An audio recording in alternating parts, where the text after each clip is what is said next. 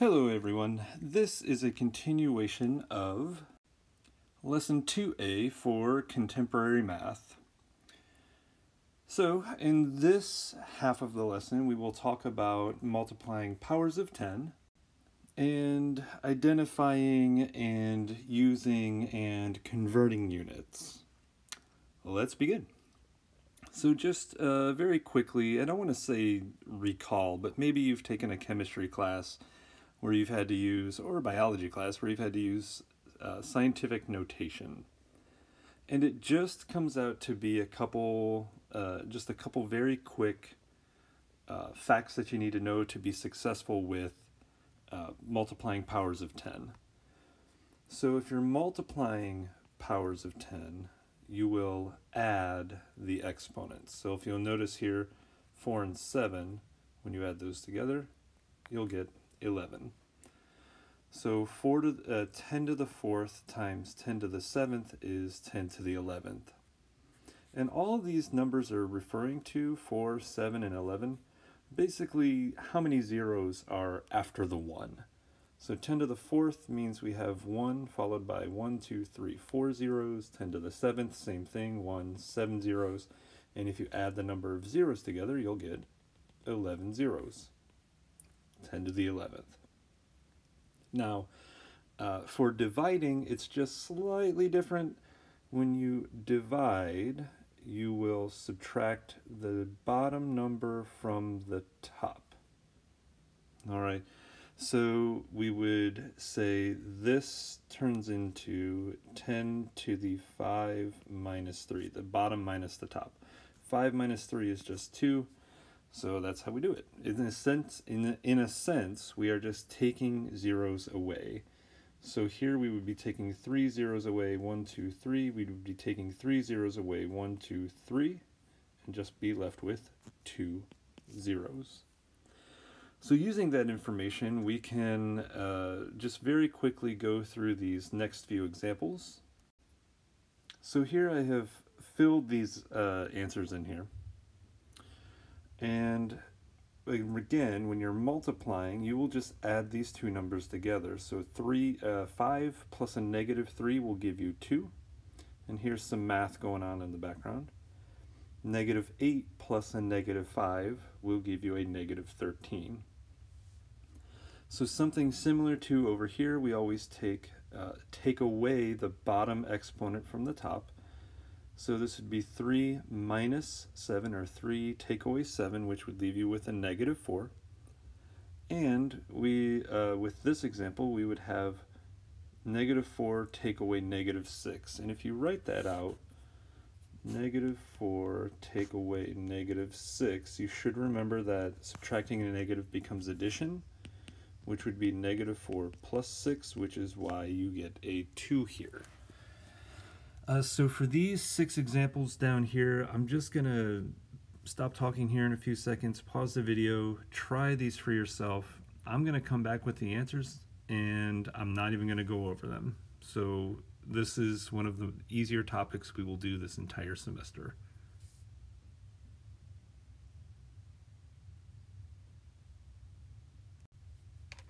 All right, here are the answers. 5 plus 6 is 11 and I'm going to do all the multiplications here. 4 plus a negative 3 is 1. Negative 2 plus a negative 4 is negative 6. For all the divisions, 10 minus 7 is 3. 2 minus 12 is negative 10. And 7 minus a negative 9, which would turn to addition, is 16.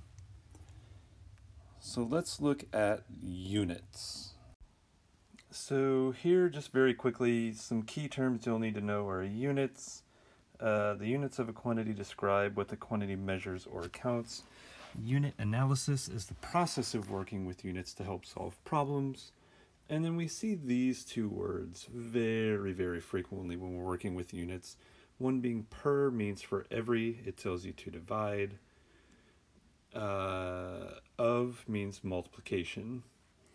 But very quickly before we look at the example down here, just to run you through a very quick uh, explanation as to why units are important. When you look at this uh, number here 20 that number can mean many different things to many different people that could mean $20 uh, 20 employees to lay off when companies are going through restructuring or downsizing 20% wrong is different from 20% right. Both of those mean very different things. Or 20 decks of magic the gathering cards. Yes i'm a huge nerd. Um, so like that being said 20 this 20 can be meaning a lot of different things depending upon who you're talking to so it's always important to know what the units are of the numbers you're working with. Um, so let's take a look at this first example here really quickly. How much will a person pay for 3.1 pounds of grapes at a price of $1.25 per pound? So the word we want to focus on right here is per. So the units here will look something like this. Dollar twenty-five, one point two five, and I'm going to use the word dollars uh, here instead of using the symbol, just so you can see how the unit analysis will work. Per means divide pound. Um, and to that, we are going to multiply 3.1 pounds. So kind of like what we were doing with the fractions over there on the other uh, few slides, we can also cancel units. So pounds will cancel with pounds, leaving us with 3.1 times 1.25 dollars. And when you multiply those two things together, those two numbers together, you'll get $3.88, but this time I will use the dollar sign. So this is how units work. When we look at identifying units, uh, we want to state the units mathematically and in words. So both of these. So for example, the price you paid for gasoline is found by dividing the total cost in dollars by the number of gallons of gas you bought. Now that that's gonna be that's gonna be the entire phrase there is what we're looking at. So dividing the total number cost in dollars, so I'm just gonna write dollars again like I did last time. Oops, dollars divided by gas, gallons. And you'll get exactly what you see over there uh, at basically every gas station would be price per gallon. Oh, per just means divide. So in words, we could write price per gallon. Uh, take a few seconds, try these other couple examples here. You'll see dividing, you'll want to write it out in words, and a fraction. Go ahead and give that a shot.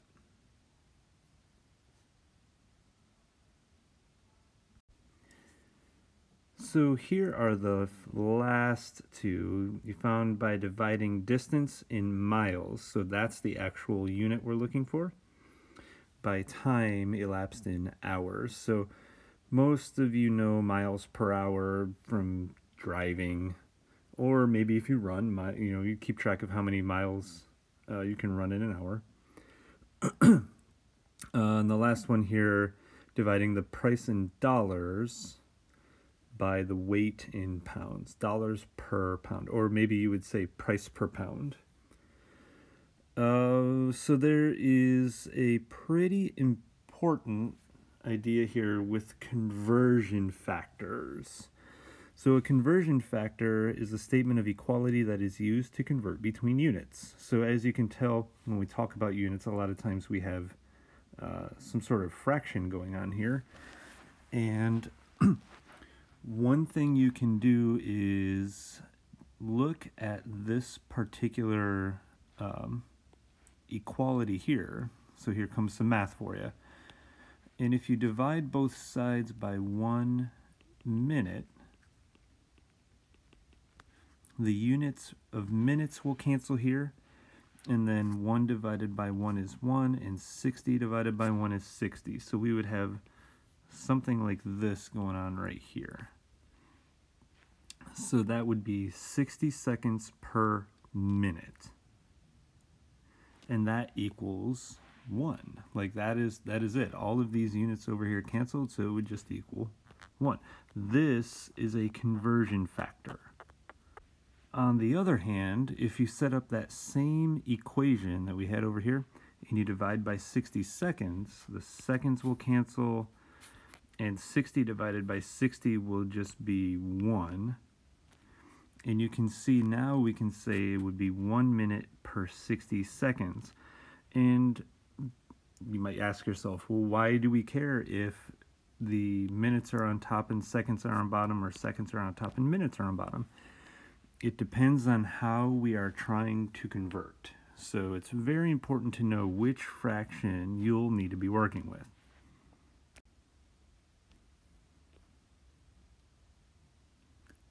So by taking a look over here, it is asking you to convert a distance of 9 feet into inches. So all I can start with is I know that I need to have 9 feet and way over here I need I know I need to have inches. And most of the time we just abbreviate inches over here with just IN feet FT inches just IN so we need to find a conversion factor that will make sure that we have feet in the bottom and inches in the top that way, when we do our canceling, the feet will cancel one in the top, one in the bottom, just like we were doing with our fractions. So the, the question then becomes, how many inches are in one foot? So that works out to be 12 inches per one foot. And that's it. We have now found our conversion factor. We know the feet are going to cancel. So we can just multiply 9 times 12 and use the unit inches. And that will leave us with 108 inches. So we can continue to do all of this for these last few examples down here. So see if you can find a conversion factor for each of these. And before I even get uh, too far, I want to give you the conversion factor for kilometers per hour to miles per hour, as well as the conversion uh, equation, I guess, for meters to feet. Go ahead and see if you can figure these out.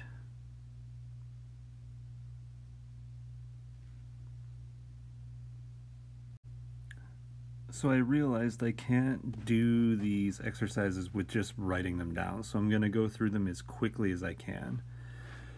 So just like in this first example here, uh, I set up what we know and what we're trying to convert it into. And then I know I need to set up a fraction. So all the fractions I'm going to set up in blue color here. Times and I know the unit I want to disappear, seconds, will have to go on the bottom, and the unit that I want in my answer, minutes, will have to go in the top. So we just saw it right up here. There's one minute per 60 seconds. So what that means then is I have to uh, multiply the 3,000 to the 1 and then divide that by 60. So 3,000 times 1 is 3,000. 3,000 divided by 60, you can use a scientific calculator or any calculator really, and you'll get 50 minutes. So in this next example here, converting 94 days into minutes, I don't know how many minutes are in a day, but I do know that there are 24 hours in one day. So that will cancel the day here. But this still doesn't get me to where I want to be. This is 24 hours. I want minutes. So I have to set up yet another fraction. I'm going to use green. So I know hour and minute. And yes, I know and you should know that there are 60 minutes in an hour.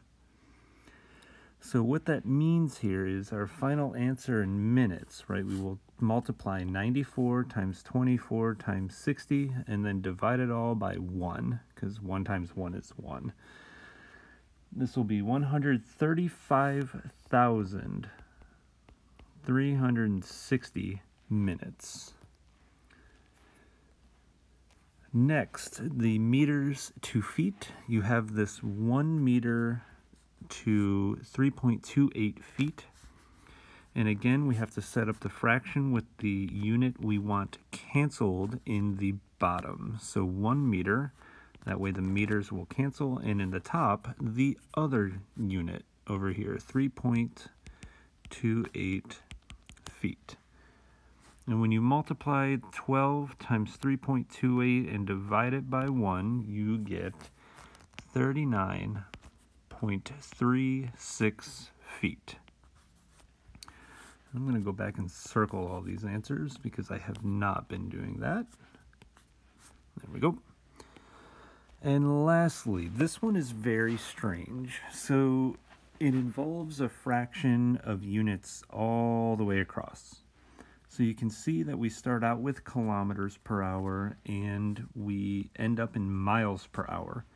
But hour in the denominator does not change. So the only thing that we need to change is kilometers to miles. So we can multiply by a fraction and we're trying to get rid of the kilometer unit. So the kilometers will go on the bottom and the miles part will go into the top. The miles will not cancel here. There's no miles in the bottom of any fraction, and that's good because we want that as part of our answer. So all we have to do then is multiply the 100 times the 0.62 and get 62 miles per hour. One last type of conversion we have here are temperature conversions, and we have two different temperature scales in this world. It bothers me to no end, but here they are. We have Fahrenheit and Celsius. So, uh, Fahrenheit uh, is just an oddball scale, like most things in the US. Water freezes at 32 degrees and boils at 212 degrees, whereas Celsius feels a whole lot better as water freezes at zero and boils at 100. So uh, here are the conversion formulas for Celsius and Fahrenheit. So uh, if you need to pause the video or rewind to look at these, I'm going to move right into the conversions. So we will have three conversions here. Um, and this last one here, you can go ahead and try for yourself, and then you can Google around to see if the answer is correct.